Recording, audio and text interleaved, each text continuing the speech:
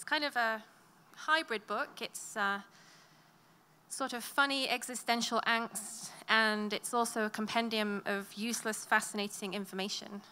Um, there are two main characters, Tess and Jude, and they do a lot of Google traveling. So they, uh, they just go on Google Maps and find places that they think look interesting, and then they look up everything they want to know about them on Wikipedia. But they don't really get out much. So uh, I'm going to read a bit that is one of these um, sort of encyclopedic sections. These American small towns are like episodes of The Young and the Restless. Once you've seen one, you've seen them all. But it never got dull. We'd stay up late in front of the screen, roaming the streets of Edmond or spying on downtown Oklahoma via the webcam on the City Hall roof, going into raptures every time a passerby appeared in the frame. It wasn't exactly that we despised ordinary cities, Rochester, Cape Breton Regional Municipality, Harrisburg, or any of those other charmless functional agglomerations you only ever hear about on the sports channels. The Washington Nationals have called up outfielder Manolo Perez from their minor league team, Harrisburg. But we did have a particular predilection for places with stupid names. As soon as we caught, saw one that caught our attention, we'd stop there and spend some time wandering the main streets. Next, we'd go and ask Wikipedia everything there was to know about the place. Most of the time, there wasn't much to say. Chocolate Bayou in Texas has the nerve to call itself that without any explanation as to why. The same thing for Scissors and Ugly, but every once in a while, we'd come across a fantastic story. Here's an example. At the beginning of the 50s, the radio program Truth or Consequences was one of the most popular in the United States. One day, the host, Ralph Edwards, announced that the program would be broadcast from the first town that agreed to change its name to Truth or Consequences the town of Hot Springs, New Mexico, so called because of the many thermal springs in the surrounding area, took up the challenge and is today called Truth or Consequences. As promised, Mr. Edwards and his team moved in and set up shop there. This story, which was told in a 1997 film, inspired the smartasses at Half.com, a virtual garage sale site. In 2000, they managed to convince the Municipal Council of Halfway, a small Oregon village of 345 residents, to change its name to Half.com, all in return for a few trinkets 20 or so computers for the local primary school, a free website, that kind of thing. We were talking about how to get the company on the map, and we said, why don't we get on the map? Literally, declared the site's founder, Josh Kopelman, proud of his stunt. In 1886, when the town of Climax, Minnesota was established, it was given, without any ulterior motive, the name of its main employer, a chewing tobacco manufacturer. Nobody could have predicted that the word climax would one day become synonymous with orgasm in everyday language. Once the harm had been done, the only option for the town's 243 inhabitants was to pretend that nothing was up, which didn't always work out too well. Take, for example, the day in 2004 when the high school principal sent a student home for contravening, according to her, the school's dress code by wearing a t shirt printed with a message with sexual connotations. She didn't know that the phrase in question was quite simply the town's new slogan climax more than just a feeling, which had come out on top in a local contest. Among the other finalists, other suggestions included no end to climax and bring a friend to climax. In Arizona, there's a place called Y. Why? Well, to start off with, the town was known by the letter Y because routes 85 and 86 joined up there, making a Y shape.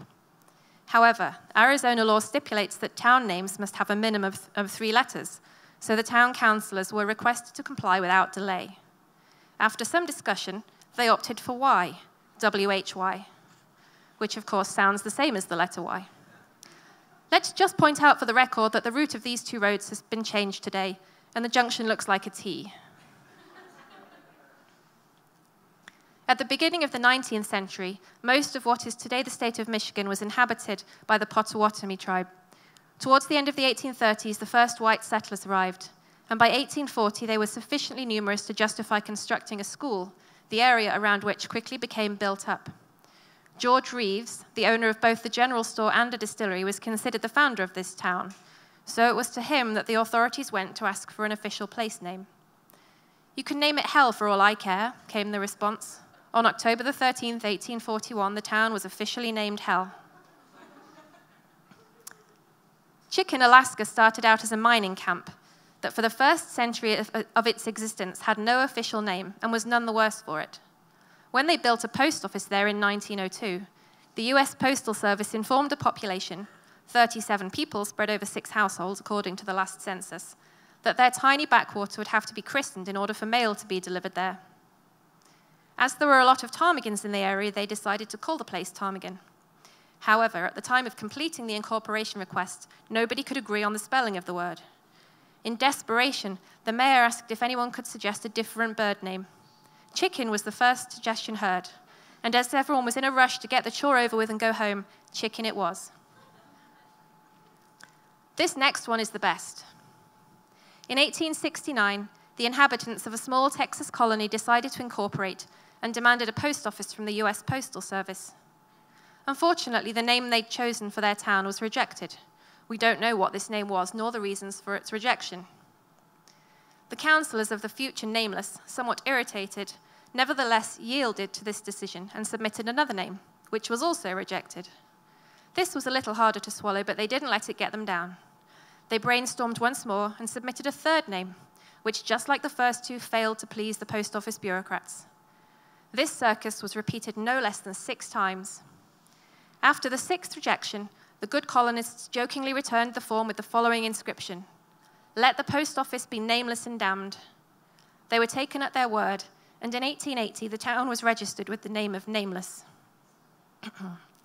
what I want to know is what were the six rejected names?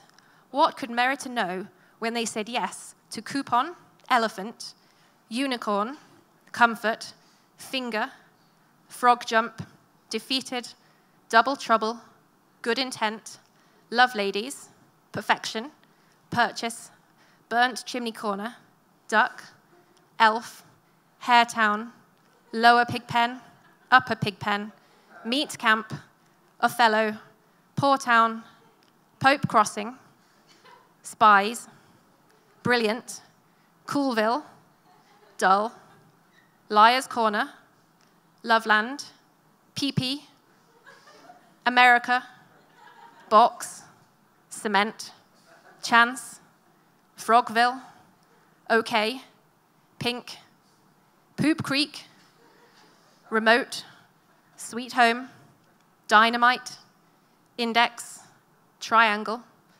Zaza, Domestic, New Discovery, Ginseng, Hell for Certain, Hippo, King Arthur's Court, Satan's kingdom, Krypton, lovely, miracle, normal, and ordinary.